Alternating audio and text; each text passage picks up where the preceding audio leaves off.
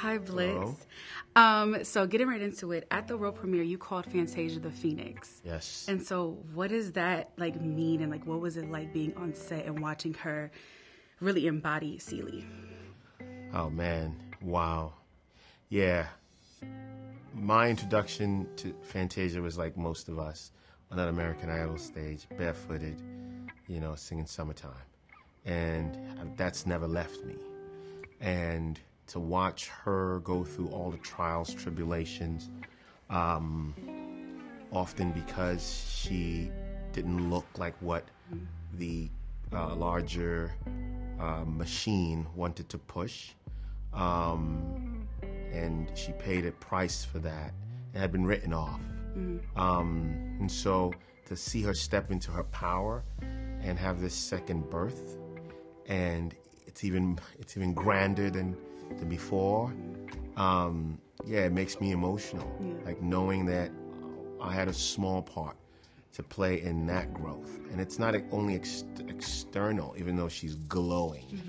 Um, it's internal. She went through a true healing, and being a small part of my sister's healing journey, well, that's why we do this art, you know. And so I couldn't be prouder of her saying yes to her power, mm-hmm. and that for me is the most important thing. Definitely. And so, I know that you said you went back to read Alice Walker's novel before getting into this. And so, it starts off with Dear God. What would your Dear God letter be now that the film is complete? Wow. Whew. Dear God. Yeah, man. I mean, my dear God will be simply that this work reaches as many people as possible. People who are ready to open their hearts and go through their own healing journeys.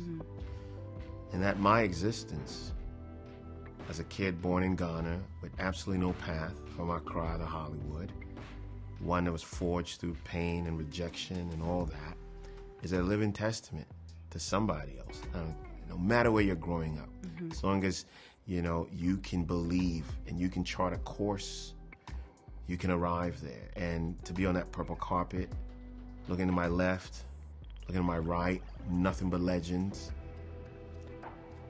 That's my dear God. Mm-hmm. That's my dear God. Would you also consider that to be your look at what God has done moment? Oh, absolutely. Absolutely. Um, and it's not just the fact that we completed a film, mm-hmm. it's not the fact that I made a studio picture, mm-hmm. it's the fact that I made some real lifelong bonds in the process of doing this. My cast, my crew, these are friends and family now. And that's all we ever need. And that's all we ever want is to belong. And coming to Hollywood and finding this family. I mean, that's it. Mm-hmm. Because the story can be very different, Yeah. you know, based on who you interface with. Mm-hmm. So, yes, I will say that is absolutely my look what God has done.